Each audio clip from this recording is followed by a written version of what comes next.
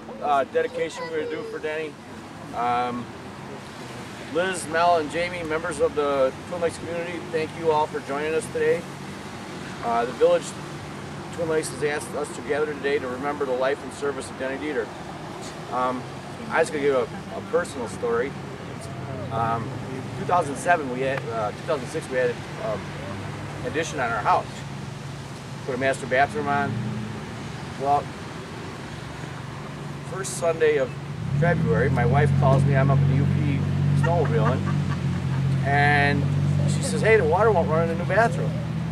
I said, "Oh no!" It, it was about a 40 mile an hour wind. It was 10 below zero. I says, "Turn all, turn the heat way up, turn all the faucets on." I'll Call Denny. I'll call Denny. so I call him up.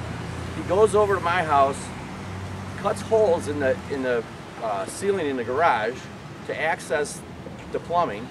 Finds that the wind had blown some insulation away from the pipes, and that's what was freezing the pipes. So Super Bowl Sunday, he comes to my house. Uh, just the kind of guy he was. Aside from his long career at Jutino Construction, Denny served on the Twin Lakes Plan Commission for 11 years. While on the commission, he played an active role in seeing many projects come to fruition, including uh, the Thielen annexation, Whispering Oaks, and Majestic Estate subdivisions, and residents of on Main right down here. Um, Denny always approached any village business with a smile on his face. Uh, besides his commitment to building a better community, Denny was dedicated to family. With a son, a daughter, four grandchildren, and one great granddaughter, and now another grandchild, very recent.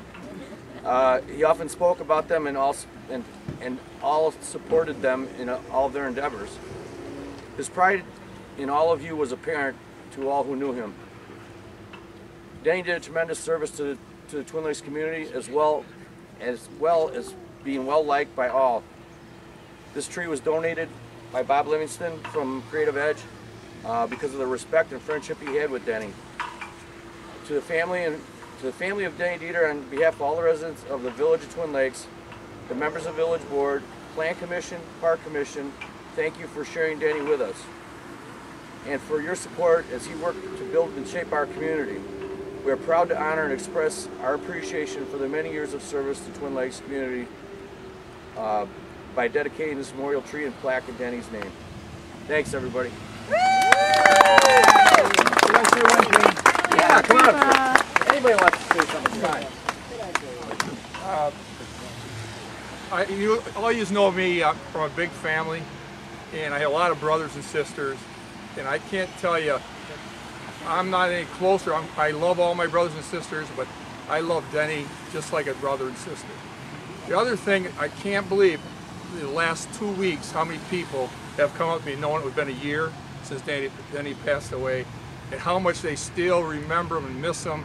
And even now that I'm driving on the white truck once in a while, they all talk about I just pi still picture Denny going down the road driving and his phone in his ear and going like this and running like that with the gears. You know, and he's shifting. It's, a, it's a, yeah, right. So it's not an automatic, so he's shifting gears at the same time and drinking a cup of coffee. You know. So I, I just I just admire the guy, and he made my life for years. Like Jennifer just A said, lot too, always waving. So, uh, and, and I say a prayer, and God, God bless him, and, uh, and God bless the Deeter family. God bless Thank you. All right. Thank you, everybody.